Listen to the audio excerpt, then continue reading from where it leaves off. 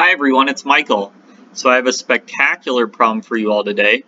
Uh, this one was from the 2005 IMO shortlist, and it was number 6 out of 7 of the geometry problems. So it was the second hardest uh, of all the geometry problems proposed that year. Uh, and so if you'd like to try to solve it, feel free to pause the video. Alright, so I'm going to go over the solution. Okay, so we have a triangle ABC. Uh, M is the midpoint of BC. Let gamma be the incircle of triangle ABC. The median AM intersects the incircle gamma at two points K and L. Uh, then we draw parallels through K and L to, to the side BC. And the parallel through K intersects the gamma at X, and the parallel through L intersects gamma at Y. And then let AX intersect BC at Q, and let AY intersect BC at P, and we want to show that BP is equal to CQ. So on the Art of Problem Solving forum, there were several dozen different solutions to this, uh, which is usually the case with a fairly difficult problem.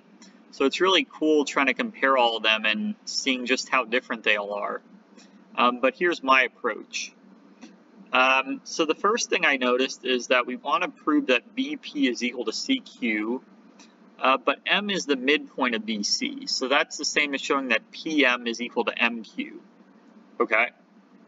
So I'm going to try to prove that PM is equal to MQ, and one way to do that, uh, whenever we want to show one point as the midpoint of a segment, uh, we can use cross ratios. So that's the same as saying that the cross ratio PQM infinity is equal to 1 uh, because basically m divides would divide the segment PQ into the ratio 1 to 1, and then the point at infinity would also divide it in the ratio 1 to 1, and so that would be equivalent to it. So that's going to be my approach. I'm going to show that PQM PQ infinity is equal to 1, okay? Uh, so those four points, what do I project them through? I'm going to want to project them through another point onto another line. So I'm going to project them through A. That seems a very natural choice. Um, and so the line joining A to the point at infinity on PQ is the parallel through A to PQ. So I'm going to draw that parallel line. And the question is, what line do I project it onto? And I'm actually going to project it onto the line XY. So that might seem like a very random choice of a line, but I'm going to explain to you why I do it um, in just a little bit. Okay, so I'm projecting the four points P, Q, M and the point at infinity onto the line XY. So point P goes to Y, uh, Q goes to X, M goes to this intersection point here, uh, which I'm going to call G, and the point at infinity would go to point F, okay? So the cross ratio PQM infinity is equal to the cross ratio YXGF. So I'm going to write that out. Okay. And the reason why I projected on the line XY was because I wanted to exploit symmetry. Um, so it's not too hard to see that KXLY is an isosceles trapezoid. And that's because since both KX and LY are parallel to BC, they have to be parallel to each other. And whenever you have two parallel chords in a circle, their endpoints always form an isosceles trapezoid.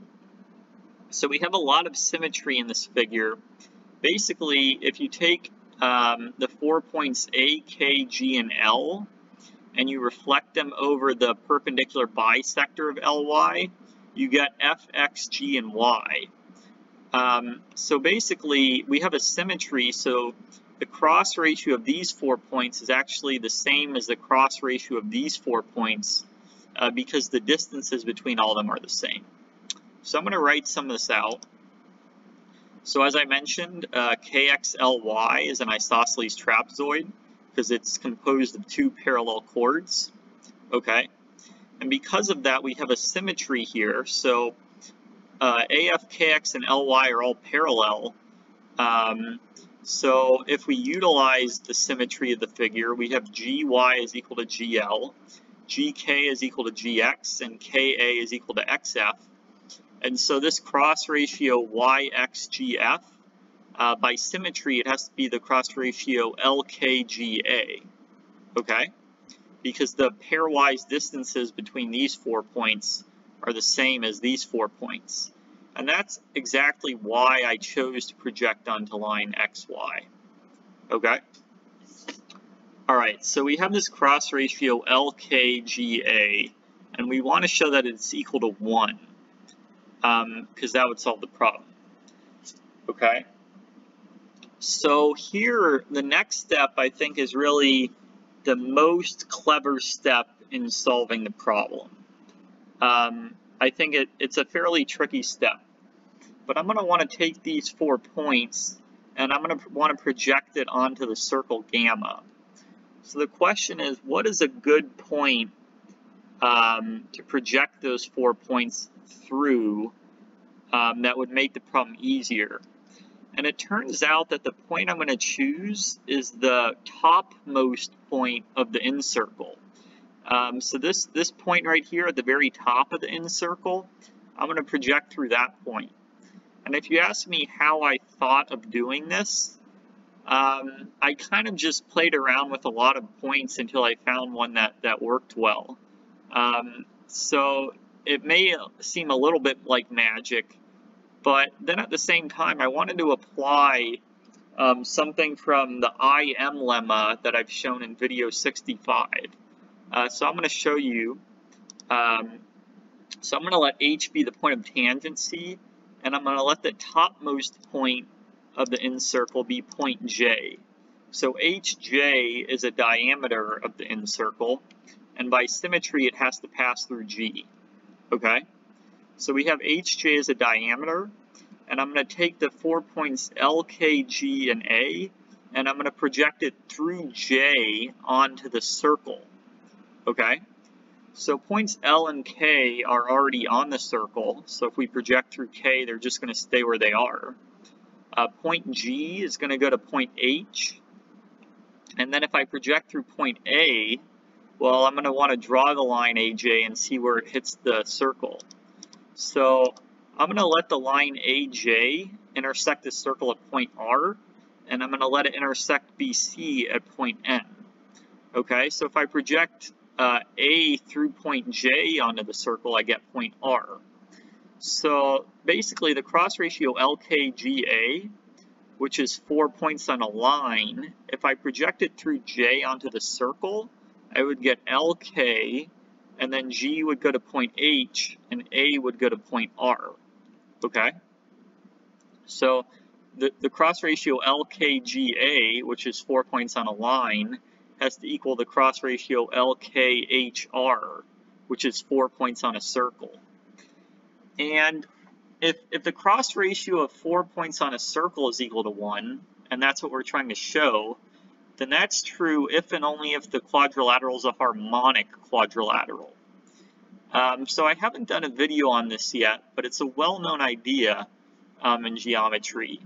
Um, so basically, the quadrilateral L uh, LHKR, so the quadrilateral form of those four points, its cross ratio is equal to 1 if and only if KL passes through the intersections of the tangents at H and R. Okay? Um, so basically, this cross ratio, it's equal to 1 if and only if uh, MR is tangent to the in circle.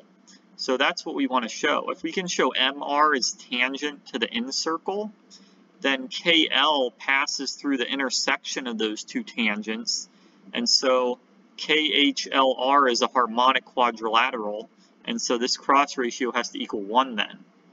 So I may do a video on it later, but that is the idea I'm going for. Okay. So I want to show that MR is tangent to gamma. And I'm going to note one thing first. It turns out that angle HRN is 90 degrees. And that's not hard to see because HJ is a diameter of the in circle. Okay? So, but before I get to that, um, I'm going to use an idea from uh, my video on the IM lemma. So this is a very well-known idea uh, in geometry, and it says that if you draw the line through A, um, through the topmost point of the in circle, and you let it intersect BC at point N, then MN is equal to MH. So this is a fact that I used in my video on the IM lemma, and I also proved it, um, but it's a, it's a very well-known idea. Okay, so check out that video if you haven't seen it before.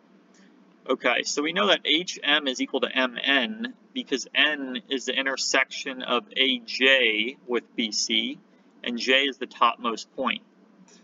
Okay, and, and not only that, I'm going to show that angle MRN is 90. So HJ is a diameter of gamma, so angle HRJ is 90 degrees, and so that means angle HRN has to also be 90 degrees. Okay? So HRN is a right angle and HM is equal to MN. So M has to actually be the circumcenter of HRN. And so that means that MR is equal to MH. And if, if MH is equal to MR, then, well, we know MH is tangent to gamma. So that means by symmetry, MR also has to be tangent to gamma. So we have exactly what we want now, because uh, if MR is tangent to gamma, then that means that KL um, passes through the intersection of these two tangents. And if KL passes through the intersection of the two tangents, then that means KHLR is a harmonic quadrilateral. Um, that's a property um, of, of harmonic quadrilaterals. And because of that, the cross ratio uh, LKHR is equal to 1. And so basically that gets us where we want. Um, just a few more steps that I'm going to write out. But if this is a harmonic quadrilateral, then the cross ratio LKHR has to equal 1. And so then if you trace it back, that means the original cross ratio has to equal 1. Um, okay, so PQM, PQ infinity is equal to 1. And this is simply uh, PM over QM, because it's it's the ratio that M divides PQ into, so it's PM over QM. And then the point at infinity divides any two points into the ratio 1. So PM over QM is equal to 1, so PM is equal to QM. And once we know that, uh, by symmetry, since M is the midpoint of BC, uh, we have BP is equal to CQ. So this was a very fun and a very tricky problem. Uh, it looks like it, it looks like a fairly simple problem when you first look at it, but most of the solutions that I saw in the Art of Problem Solving forum were, were fairly challenging.